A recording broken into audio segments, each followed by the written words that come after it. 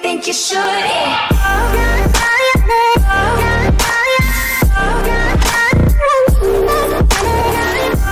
What's up, Jriders? It's your girl Justine, and I'm back with another video. Y'all, today is Tuesday, August 31st. It's about to be the end, well, it is the end of the month. It's about to be a new month. And this year has went by so fast. I cannot believe it's gonna be September already. Dang. September already, and I leave next week for surgery. Oh my God, I fly on the 9th. So yeah, this is scary, guys. This is so scary. I ain't gonna lie, I'm so scared. But anywho, I'm on my way to California because I have a doctor appointment I have to go to tomorrow. And then since I'm gonna be in California, then I need to get my car checked. There's some things I want to get checked on my car. Um, I had an appointment get the car checked back in um well in Arizona, but then they technicians got got corona. And I could have took it to a different audit, but I was like, forget that. I gotta go to California anyway. So I just booked an appointment out there in California. Yeah, I got a doctor appointment tomorrow, and I gotta do some. I have. A, I gotta have a checkup. I gotta do blood work because before surgery, my hemoglobins have to be over a 12. And the last time I had to check in April was 12.6. I hope and pray it's way over 12 now. I hope it's 13 something because I've been taking these iron pills like crazy. B12 iron. I've just been doing everything I'm supposed to do. And um, I had watched somebody video when they said, you know, um, vitamin C helps absorb iron. And I always take my vitamin C with my iron. Maybe I need to start taking like a shot of orange juice with my iron. And then on top of that, um, I also heard sometimes caffeine or coffee can stop iron for absorbing in the body. And I hope and pray that's not true because, ooh wee. I be drinking some coffee, but I don't drink coffee every day, you know? Speaking of coffee, I just stopped at Starbucks and got me a pumpkin cold brew. Um, it's nasty. And I do like pumpkin cold brew. It's just that I don't think they made it right. I really don't think they made it right. So like I said, it's nasty. But I'm gonna drink it anyways because I got a long drive ahead of me and I need to I need the caffeine. Um so yeah, that's what I got to do in California. I'm gonna be vlogging every day of course. And um whew, I can't wait to get there already. And I just basically just started. It's raining here. It's been raining a lot here in Arizona this year. I can't believe the amount of rain that we've got. Sometimes it only rain once or twice, but count on two hands how many times it rained now. Which is good because, you know, it is hot here. I don't mind the rain at all. I just only minded the snow. Long as it ain't snowing, we good, okay? I don't want to see them. I don't want to see that. But, um, yeah, it's raining right now. I got a long ride, ride ahead of me. Um, it usually takes me four and a half, five hours to get where I'm going. But you got to think, you know, sometimes you got to stop for gas. You got to use the bathroom. It's traffic. So sometimes those things slow you down. I got to take all that into consideration. But I'll get there tonight. I'm just gonna enjoy the ride. I haven't drove in, to California for like in a minute now. And um, cause the last time I just went, I flew. And I was gonna fly again. Then, um, I don't know. They To me, this airline price was a little bit too much. And this gave me a chance to get my car checked.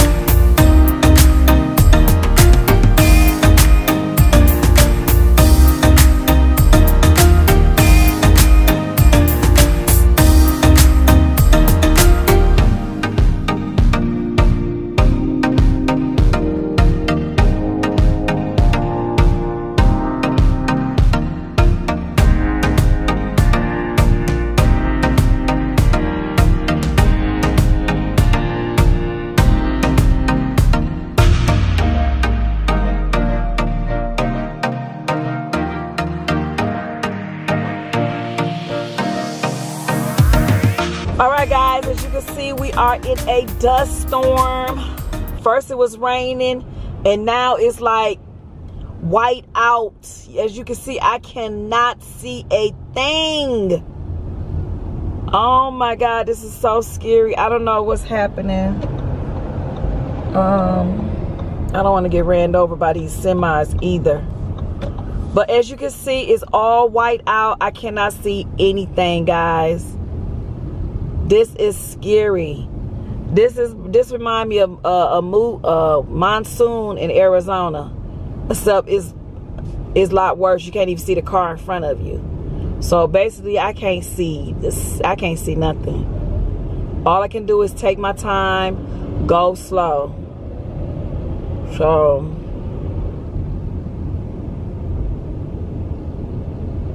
I don't know how long traffic gonna be like this.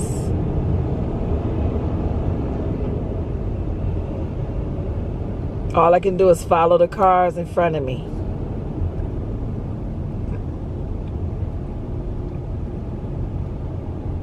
This is scary.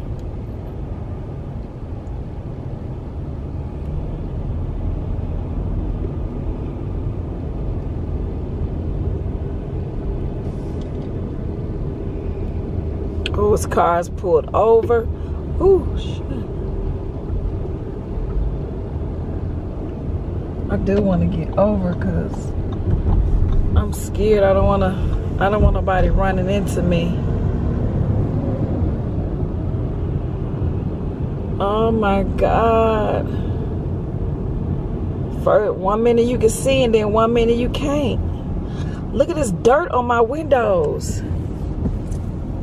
Dirt, sand. All right, guys, I'm about to pick up some food here at Miguel's Junior's. It's one of my um, favorite Mexican restaurants here. All right, y'all, I made it to my destination and I ate and I forgot, look at my lashes. They look all crooked. Oh, Lord. They're gonna get done next week. They're gonna get done next week.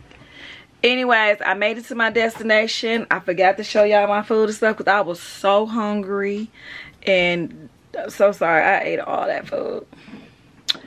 But um, I'm not to end this vlog because it don't make no sense to end it. It was very short. I didn't really do nothing. Oh, it was so scary on the highway. Did y'all see that? Oh, at one point, I couldn't even see nothing. I couldn't even see the car in front of me until I got so close and I saw the little lights. We every Everybody slowed so far down. So, yeah. So tomorrow I got my doctor appointment. I guess I'm gonna keep continue this vlog um tomorrow. So but I still wanted to come here and say something so y'all don't have to be worrying in the beginning of the video. Wonder, oh, did she make it? She alright? Yeah, I made. I'm alright. um so tomorrow I have a doctor appointment and I guess I'm gonna bring you guys with me because I know y'all wanna come. Right? Do y'all want to come? I know y'all want to come. So anyways, my tomorrow's my doctor appointment. If I get up and do something, I will pull out the camera. I don't know. Um, yeah, I'll talk about my doctor appointment I get to that. And then I got to do my blood work. Because like I told y'all, my hemoglobins have to be above a 12 for me to have surgery. If my hemoglobin is not above 12, it don't make no sense for me to fly my ass all the way to Colombia for them to tell me you can't have surgery. So, let's hope and pray that turns out okay. Cross your fingers, y'all. Cross your fingers. Anyways, I'll see y'all tomorrow, which probably going to be two seconds for y'all. But actually, it's going to be hours for me. Well, see you in two seconds. Hey, what's up, guys? It is the next day, Wednesday. It's 2.42 in the afternoon right now. Um, I just left the doctor office, guys, and I'm going to tell you the reason why I had to come to the doctor office. So, I had some um, MRI done, a MRI done um, back in April of this year and um, that MRI has showed I had a large uterus. So the doctor was thinking that I might have fibroids. But again, tests had to be did and further testing had to been done. But they, I did not know during the MRI. The doctor just told me they had um, measured one of the fibroids, and the the the woman made it seem like I might have fibroids. She didn't really say I have fibroids, but um, so I just talked to the doctor, and I had to I had to be examined, and now I got to set up appointment for ultrasound. Now, they said I do have fibroids. The crazy part is I had no symptoms, no pain. I would never have thought in a million years I had anything like this. They said it's very common in women. But again, I had not, not now the doctor was explaining to me that I probably do have signs, but I have adapted, I guess, to my cycle and maybe never even noticed. So he's saying, he asked me about my heavy, do I bleed heavy? And I said, well, yeah, I do bleed heavy um, for the, like, the first three days and then it goes off, you know, slows down. But that's been like that for years. Like, how are you going to tell me that that's a problem when I've been like that for all these years and to me that's normal. He said I have adapted to this being normal, which those heavy bleedings he claims I'm having is probably not really normal. I don't, I mean, but I change my tampon every three to four hours, just like regular, just like years it's been. I'm just telling y'all, to me is normal okay? But to them they don't think it's normal. They just think i adapted to it. And they they said these heavy bleedings is what's causing my iron to be low. But he said even though my iron is like over 12 my hemoglobin is over 12 he said that's because i'm taking all these iron pills making it over 12 where it probably would be even higher if i didn't have heavy bleeding i don't know y'all this is just so much to think about and what's going on. I said, listen here, sir. I'm two weeks. I'm about to have surgery on the 13th. Don't play with me. Like, I ain't got time for this. Like, what, what is you telling me here? Are you telling me I can't have surgery? Because I'm about to have a tummy tuck. Is this going to affect my tummy tuck? Because, you know, I have to make sure, is this going to affect my results of my tummy tuck? he said, most likely it won't. But when I was laying on the table, he had me touch feel my stomach, my uterus, he says that I'm like, I'm pregnant, four months pregnant. What? he said, have you, I said, well, I always felt bloated, but I thought that just happened during periods. Oh, girl. I'm not worried. I'm not scared. The thing is, could this get larger? Could, um, let me think here. I don't know what to think. I'm not having cramps. I don't have pain. I don't have nothing. And if it wasn't for that MRI, I would have just went on my life thinking nothing. Well, anyways, that's the reason for the appointment today, y'all. I know a lot of ladies out there. I know it's, they told me it's common for ladies. 90% of women go through this. I know a lot of my, I would say audience or you guys that watch me I probably already been through this. You know what I'm saying? Y'all probably got so much more information about it than I do. But I knew I was coming in for this appointment just to double check. Now, he wants me to schedule appointment for ultrasound. Now, he asked me, do I want to proceed on having a tummy tuck or do I want to wait to have the tummy tuck and deal and deal with this? He also let me know that he said, I'm sure the surgeon has dealt with a lot of women that have fibroids, still had the tummy tuck. He said, just like we have dealt with a lot of women having hysterectomies that had tummy tucks. So he said, I have to let you talk to your family. I have to let you sit down and discuss and figure things on how you feel. A lot of women just keeps the fibroids in them and don't do a thing. He said, but that's up to you because you're not having any issues. Now, if you was having issues, of course, we say, let's have the hysterectomy. He said, so I'm going to leave the, the that decision up to you let's have the ultrasound see how big see how many and then uh, figure out there he said but your uterus is the size of a four month pregnancy Wow, I'm blown away. Dang, that's crazy how my body just ain't doing nothing. Like my body ain't even reacting to nothing. Like, come on, body, what's wrong with you? Why ain't giving me no signs? Anyways, guys, that's my dilemma right there, right now. I gotta sit down. I'm gonna sit first. I'm gonna sit down with my husband and talk to him. So before y'all even get this video, I probably already talked to him before y'all seen this um i also gonna talk to my sisters i have no mother to talk to i wish my dear mother was here but i don't even know if she would have told me any told me the right things because you know my mama would be against surgery i'm just gonna tell you that right now any kind of surgery she don't even want me to have tummy tuck she didn't want me to have nothing even when i had to have a once a I had to have appendix removal. She used to, I remember when I was in the emergency room, I said, Mom, I gotta go to the, I gotta have an operation to remove my appendix. She said, oh girl, you better get a second opinion. I said, Mom, I can't get no second opinion, I'm in pain. So my mom would just be like against that. I know she would be against that. So, but sometimes we have to do what we have to do, right? So anyhow, um, I'm about to call my husband to see what he doing because um, I think we're gonna go for a ride. Just go, just we're going around taking a ride, looking at some things today, and then um, I'm about to discuss that. Then I'm gonna talk to my sister, and then um, that's it.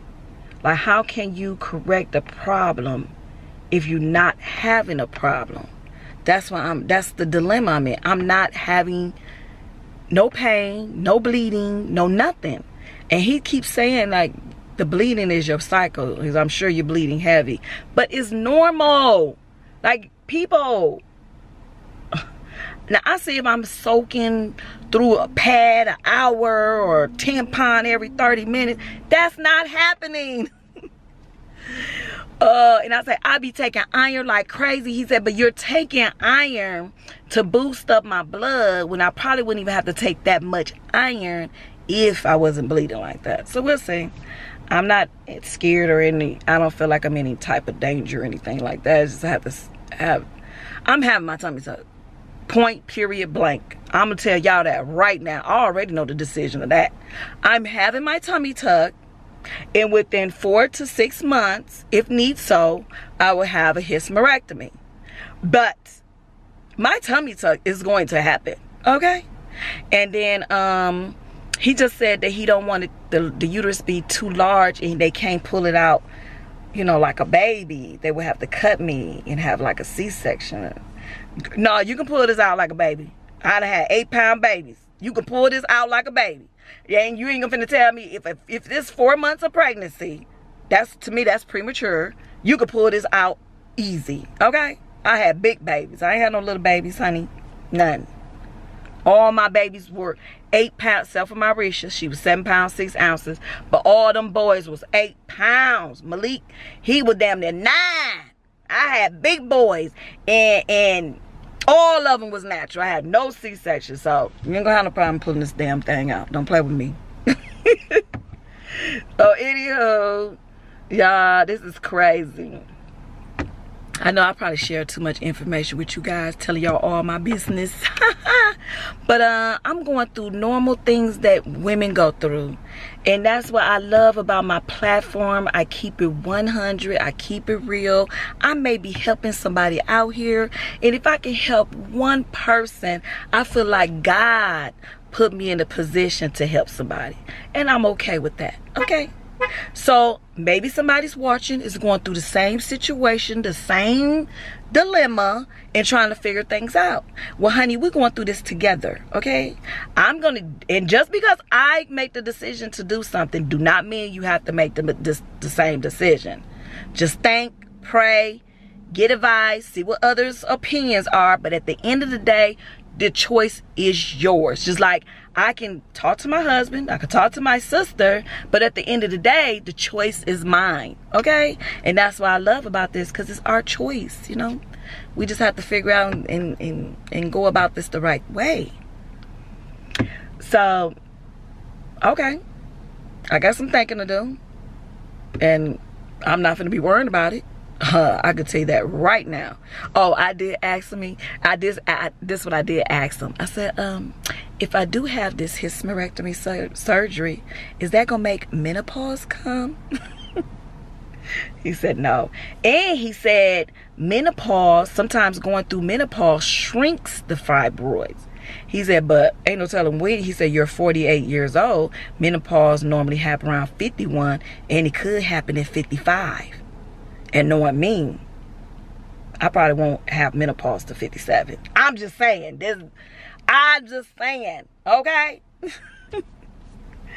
so anyhow, let me get ready to call my husband, see what we're gonna do, and then um, I'm sure in a few seconds y'all about to see what we're, we're gonna do. We're probably gonna we're gonna be going for a ride for sure, cause we gotta look at a few things. But anyways, I'll be back, guys. Hey guys, I know I haven't been really vlogging that good or showing much these past couple days, but I'm tired and I'm finna get ready to go to bed. So I just want to say, if you're new to this channel, don't forget to subscribe, okay? Also, don't forget to hit that bell button so you can be notified of every video I upload. Super tired, finna get ready to lay it down. I just want to say that I'm going to go ahead and end this video. I want to thank you guys for your love and your support. Thank you for watching and I will see you in the next video.